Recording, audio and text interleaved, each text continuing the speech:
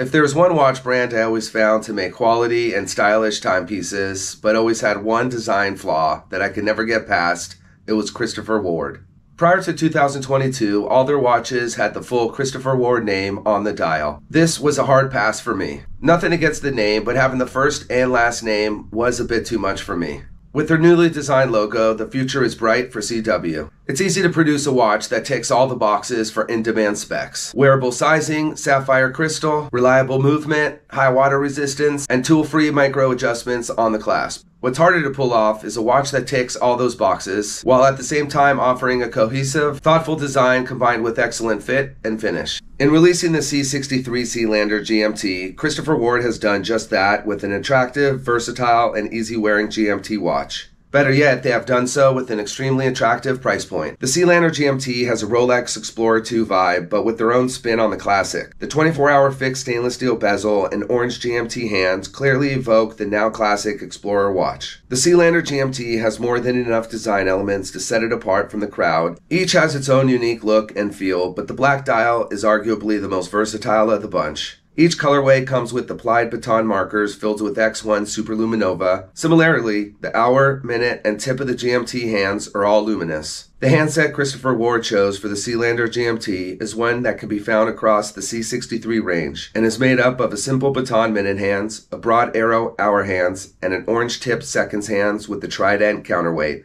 Since this is a GMT model, you also get an orange tip 24 hour hands. The handset complements the dial. Although the hour hand and trident won't be for everyone, they're elements that tend to be exaggerated in photos, but are hardly noticeable on the wrist. The use of orange as an accent color is prominent, but not overdone. The 24 hour hand is the major orange element, but that plays nicely off the tip of the seconds hands, a bit of text on the dial, and small markers along the minute track. Christopher Ward keeps the branding to a minimum, only displaying the brand name at 12 o'clock and some basic info above the color match date at 6 o'clock. If you follow Christopher Ward, you'll know that their branding has been something of a journey. That said, you will find the twin flag logo on the rotor, crown, and bracelet clasp. On the wrist, it's clear that Christopher Ward has a nice wearing experience. The dimensions of each version are 36 millimeters diameter versus 39 millimeters, 43 millimeter lug to lug versus 45.8 millimeters, and 11.15 millimeters in thickness versus 11.85 millimeters. These dimensions are likely to fit comfortably on a wide range of wrists and will be welcome to anyone looking for a GMT watch with more modest dimensions, whether for all day wear and comfort or simply for the aesthetics of a modestly proportioned watch. Besides being well executed for comfort, the case is very well finished for the price point with clean brushing, sharp chamfers, and just enough high polish elements to dress up nicely. The Sealander GMT sports 150 meters of water resistance and is finished off with an exhibition case back. While the Elaboré grade Sellita movement isn't decorated, Christopher Ward does add a custom engraved rotor.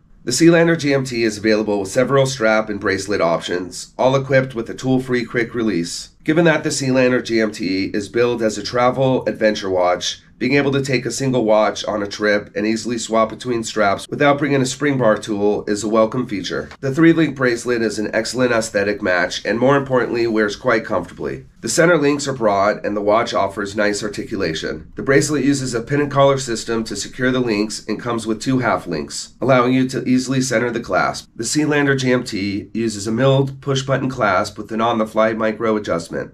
The clasp is excellent, and once you consider the price point, it's even more impressive. Powering the Christopher Ward C63 Sealander GMT is the Sellita SW332, a doppelganger of the ETA 2893. This movement sports 25 jewels and has an extended power reserve of 56 hours. This is an office GMT movement rather than a true GMT, where the GMT hand is controlled by the hour hands, meaning when you land in a new city and move the hour hand forward, the GMT hand advances right along with the hour hand. All in all, this GMT is a comfortable, attractive, and well executed watch.